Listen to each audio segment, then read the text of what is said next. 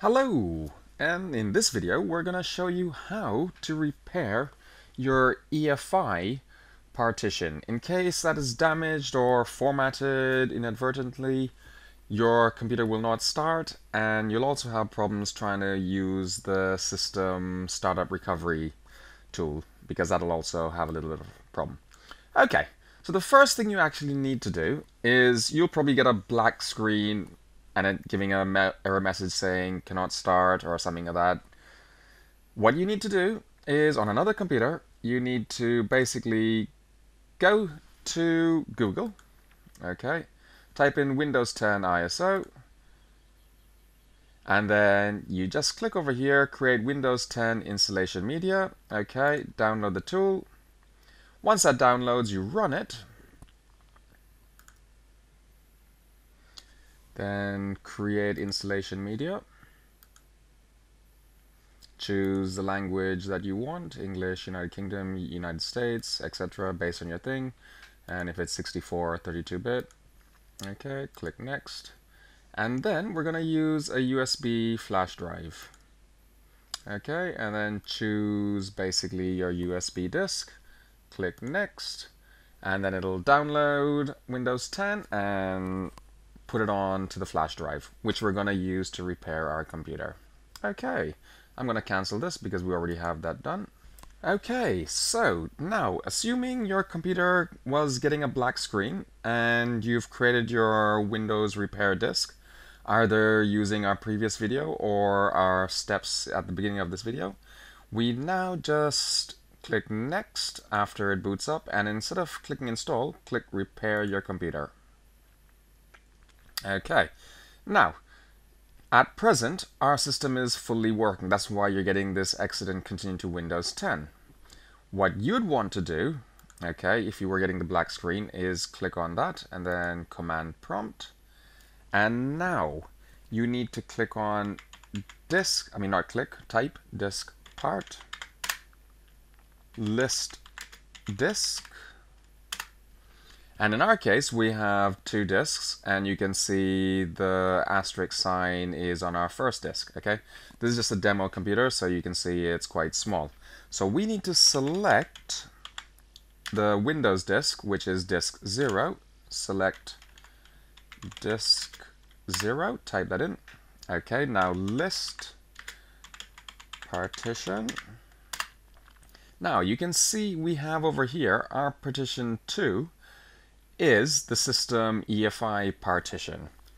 Now, if this was corrupted or formatted, you would need to basically restore this.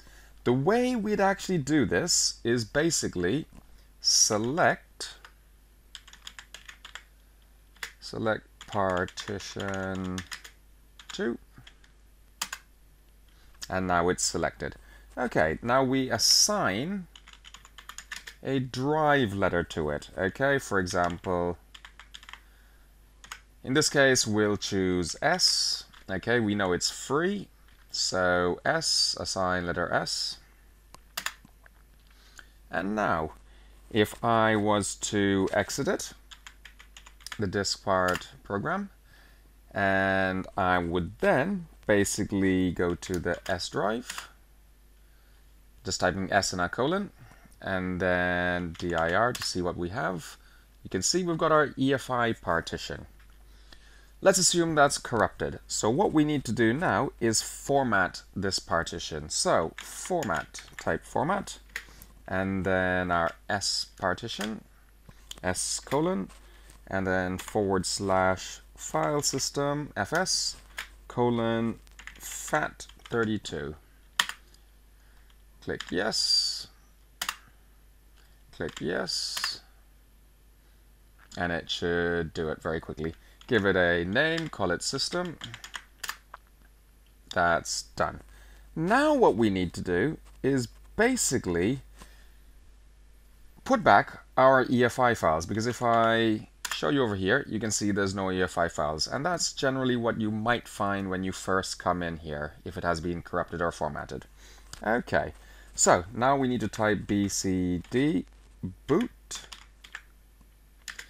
Now in this case, we know our hard drive is actually called D because the C drive is the USB. So I'll just give you an example. If I type D colon and then dir, you can see it's got our Windows folder in there. Okay, so all I need to do now is basically go back to my S drive and then bcd boot. And then it's going to be from the D drive we're copying the files backslash windows. And then forward slash s. And then it's our drive letter that we use for our system drive that we assigned. So it's s. And then space forward slash f. And then UEFI.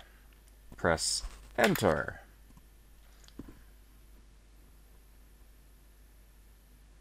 And as you can see, it has now created our EFI folder. And we'll just confirm that by typing dir.